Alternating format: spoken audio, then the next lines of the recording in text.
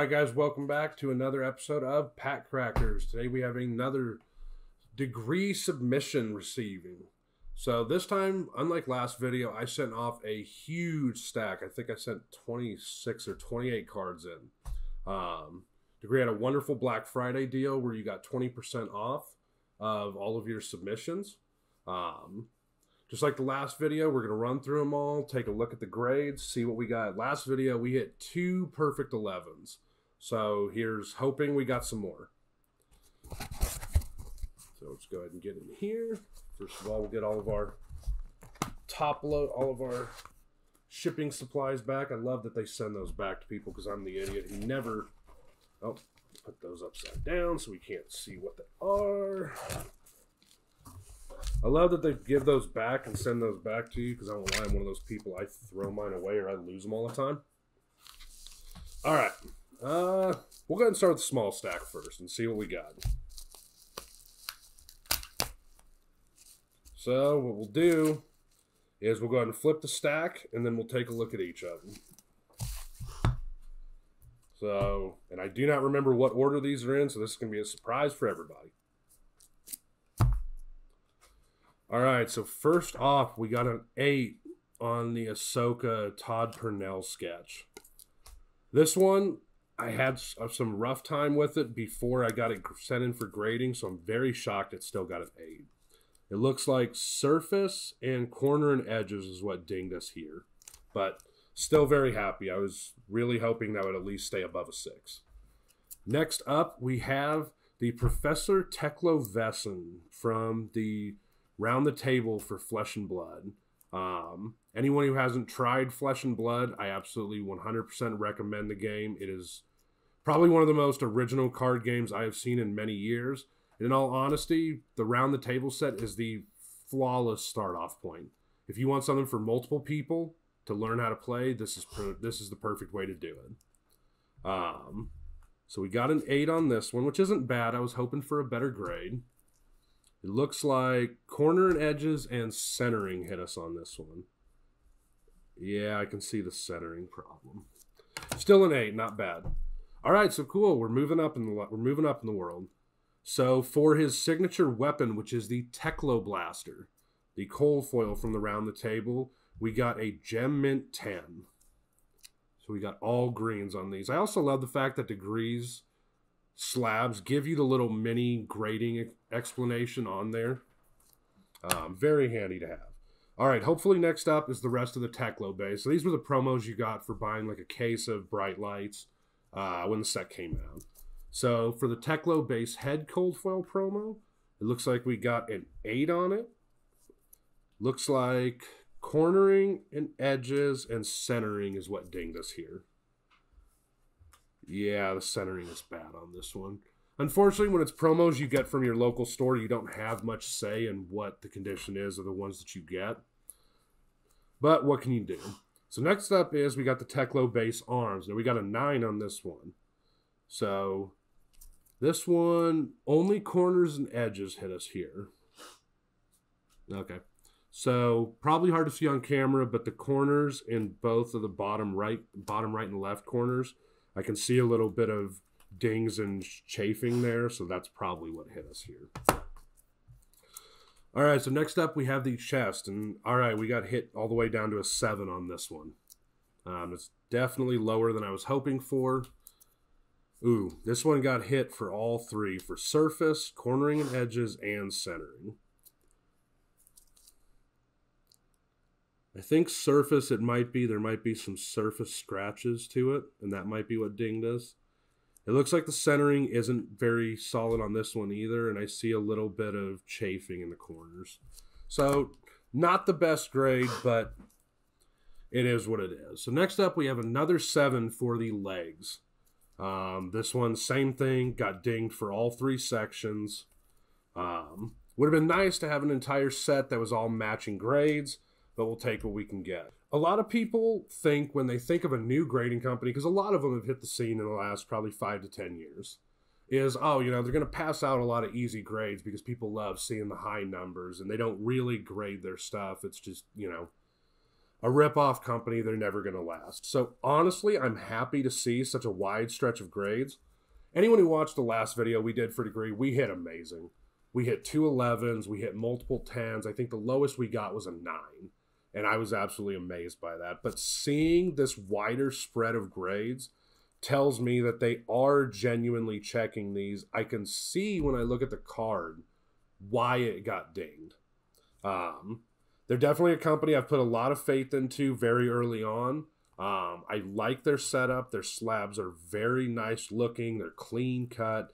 Like I said, the little breakdown here on the back that kind of shows you what hits your card. I feel like it's something I don't think any. I know Beckett does like the point system, but I feel like the graph is a little bit easier to digest. So next up, we did get a Gem Mint 10 on the Melody Sing Along from the Round the Table. So she hit green in all three categories. So very nice end of the first stack. Let's go ahead and hop into the second one here. Yeah. Now this grading this grading submission was full of a bunch of different stuff, and I'll be honest, I don't remember what all of it was. Next up, we have Jingle Jinglewood Smash Hit. So Melody's signature weapon from around the table. This one got a nine. Another thing that I love about Flesh and Blood is the cold foiling. Let's see if I can get it good in the light. There it is. I don't know what it is about like cold foil and magic. It's closer to etched foil. Uh, if you play Lorcana, it's their foiling system in that. But it just looks absolutely gorgeous. Like the way that that foiling hits is just something different. So this one looks like centering is what dinged us here. Mm, yeah, I can see the centering issue. Ooh, all right. So heroes we're doing pretty good on. So we got a 10 on Brevant, Civic Protector, the Guardian from the round the table. So he hit green in all three categories. So at least the heroes we're doing good on. And so far, weapons we're not doing bad with. All right. So his weapon we got an 8 on for Hammer of, I'm going to call it Havenhold. So this one corners and edges and centering is what hit us here. Okay, now I'm remembering what some of these submissions were. All right, so I think the next couple cards, if this is back in the same order as I shipped it out, and it's going to be funny because they're all the same card, but I wanted at minimum a grade 10 for this card, so I knew I was going to have some extras, but I didn't want to submit multiple times. So Battle Spirits, uh, what was it? I believe with the last set, did a uh, promotion with Game Grumps. Um, they got a three card promo pack from certain stores, and this was what I would call like the fun card. It's not playable. It has an 85 cost. Um, you know, abilities are when it's summoned, you strike a pose. At level two, you destroy a planet in the process. And at level three, this sounds like some stuff from Yu Gi Oh! You win. Friendship is victory. I feel like someone's going to build a meme deck to try and get to 85 cores. I would try and do it. So we did get I did get my my 10 gem mint. So very nice on that. Okay. So we have two gem mint. Three. All right, let's think the next one's another one. Oh, so a playset of Gem Mint 10 Arena and Daniela Game Grumps. Maybe slight of a waste of money, but oh well, I got what I was looking for and even some spares to boot. So next up, we have the Jewel Dragon. I'm going to call him Smaug. I don't care what Battle Spirits named it. It looks like Smaug from Lord of the Rings. So this one was from the uh, first expansion set that they came out with. Got a Gem Mint 10 on that. Once again, like the foiling for Battle Spirits. It's still what I would consider rainbow foil, but it has that sheen. All right, so we got a nine on the Ant Man token from the third Battle Spirit set. So these were box toppers. There were three different tokens. There was this one, a Mecha token, and I believe a Golem token. So this one got corners and edges got dinged on this one. Being a box topper, I'm not surprised. Depending on how long it was in shipping, those can kind of get banged around a lot.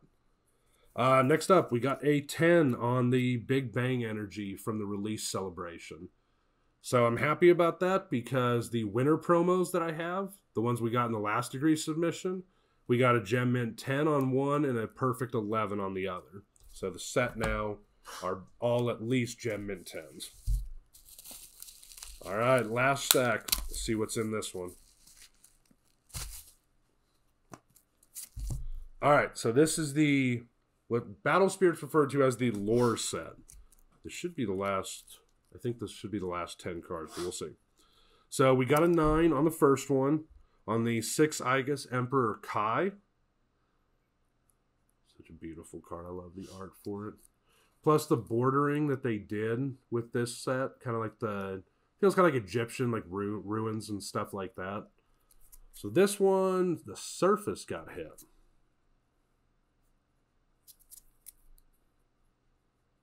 Not noticing anything right away, but it's possible there's some scratch. It looks like uh, there may be some scratches on the surface. I think I see it now. All right, so cool. We got a gem mint 10 on the heroic worm lord dragon. Um, once again, they all have the very similar bordering to them. Like I said, that kind of cool like ruin setup. So that one got green across the board. Oh, another 10 on the Imperator Monaka. Absolutely gorgeous card. Very nice. Oh, and here I was hoping we were going to get. I was hoping everything else would at least be a 10. But we got a 9 on the Light Igus General. I'm going to call it Phalanus. It's a weird name. There's Battle Spirits has a lot of very unique names if you've never touched the game. So this one, Surface again. I'm wondering what. These all came from the same package, so I wonder if there was some kind of defect with the surfacing that caused the issue. Hmm. Next up, you okay? Cool. We got a ten on the Ice Igus General AL Belto Seven. See what I mean about the weird names? So this one got a gem mint ten, so he's sitting solid. All right, we're back to a nine with the Wind Igus General Tokiwa. I said once again, very gorgeous. Love the artwork, especially for the birds. And uh, the second set had a heavy presence on birds, and I love the artwork for them. Surf. It's got to be something with this one. The surface again is what dinged us here. All right, cool. We got another Gem Mint 10 on the Revolutionary Zeon. Samurai running around with a pistol. All right, a Gem Mint 10 on the Victory Oath, one of the Nexuses from the setup. Very cool there. I love that. Ooh, cool. Ending on a high note. Another 10 on the Imperator's Great War, the other Nexus from the setup. Beautiful and cool. We get to end on a 10. So a 10 for God Slaying. God, that art looks cool samurai attacking this big mecha beast looking thing. All right, very cool. So, guys, that was a what did we get to? 20 I think we got to like 28 cards here. So that was another degree submission. Um, like I said, they're a company. They're still very new. Uh, they're popping up all over social media. Um, that's how I found out about them in the first place. But I gave them a shot. Um, I've loved what their slabs have done for me so far. I like the look of them. They're solid. Um, definitely suggest if you haven't given them a try or if you're sick of, I'll be honest, I'm not a fan of PSA. I like Beckett. I like the fact that they grade hard. Um, but even Beckett, I've ran into a lot of inconsistencies with. CGC, I've never really seen any problems with. Um, but like I said, PSA, what a lot of people consider like the pinnacle of the grading stuff, I've just seen so many, so many inconsistencies with. And at least so far, this is close to 40 cards we've gotten back from Degree. I haven't seen one come back that I can't either understand why it got the grade it did, or if it got a low grade, what caused it. Like we looked at today, there were a couple of low grades in here, but I see why. Uh, so I do feel like they're a grading company that is taking their products seriously, which is what we need in this. Plus, they're by far one of the best as far as price goes, um, which is obviously a big thing, especially if you're going to be submitting large numbers. You know, when you're sending in 50, 60 cards at a time, even a couple dollars a piece turns into a huge amount. Uh, so, like I said, check them out if you haven't yet. If you do check them out, let them know where you found out about them from. Um, we'd love to get some kind of collaboration going with them. Like I said, they're a great company. I've had multiple interactions with their customer service too. Uh, but like I said, check them out. Uh, that's it for this video. Keep an eye out for the next one, and thanks for joining us on Pack Crackrz.